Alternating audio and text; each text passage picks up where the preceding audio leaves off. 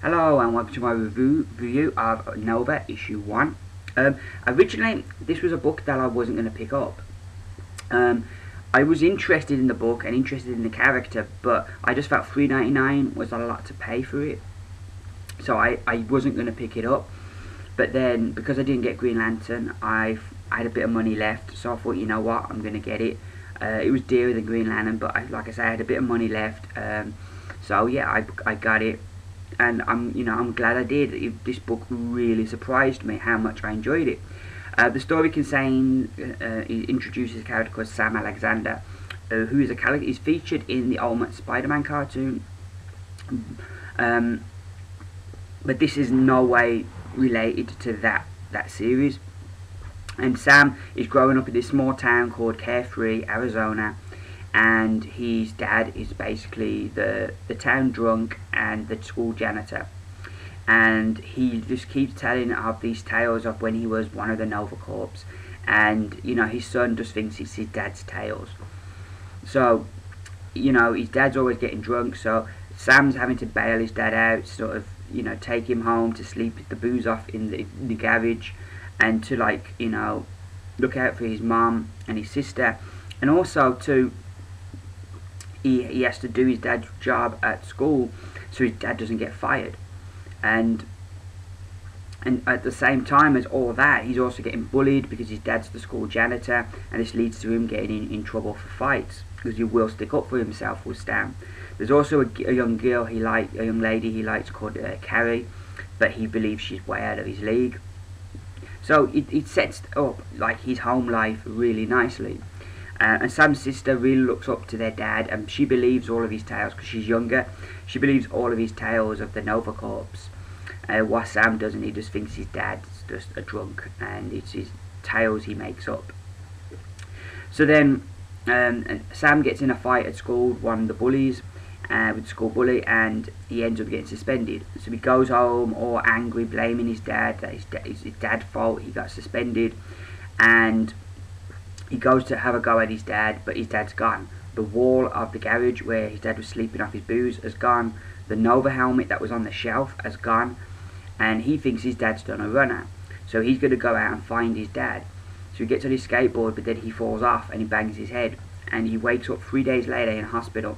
And um, he then has to face the fact that at the end of the issue, because I'm not going to really spoil what happens on the last page, but he has to face up to the fact that his dad was telling the truth all along.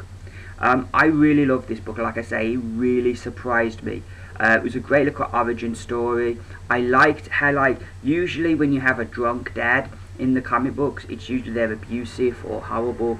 But no, he wasn't. It, it just that because he was a drunk, that it made Sam have to be more the adult, had to be look out for him more. Um, and I liked that kind of twist on the thing, and that it wasn't the obvious way. Oh, the dad's abusive. I liked that the dad was yeah, the dad was good, a good man basically, but he he just got lost in the buckle and couldn't find his way out. And and Sam shows that he's a good kid, while he's still got that attitude of a teenager, that temper of a teenager, and the moodiness of a teenager. He is at the heart of it is a good kid as well because the way he looks out for his dad and looks after his family. You know, a good kid wouldn't you know, a good kid, a bad kid wouldn't have done that. So he, I, I, li I liked very much the character of Sam Alexander. Uh, and, there were a lot of other great characters in the book. Uh, his mom and his sister, his dad, uh, the the Nova Corps we got to meet in the flashbacks that we have from his dad were also really good. And there's also two members of um, at the beginning of the book you've got two characters from Guardians of the Galaxy who show up as well, which I understand is going to be a bit crossover to the two books. So know that going in, that if you're going to pick up this book, that you may have to pick up Guardians as well. Um, it's something you need to know and be conscious of going in, because uh, reading like what they say about these books, it sounds like they are going to link up a lot. Um, but I really, like I say, I really enjoyed it. The art as well was fantastic. I like the stylized way they started the issue. Uh, we start off in space, and then you know you go to the next page and you've got the logo. I really thought that was a nice, effective way to sort of open up their cosmic books. Um, we then have some great, great stuff. There's a double-page spread there of, of of them rescuing the Guardians of the Galaxy, some of the Guardians of the Galaxy but the artwork was really great. Uh, the expressions of the characters' faces, and Ed McGuinness does a fine, fine job.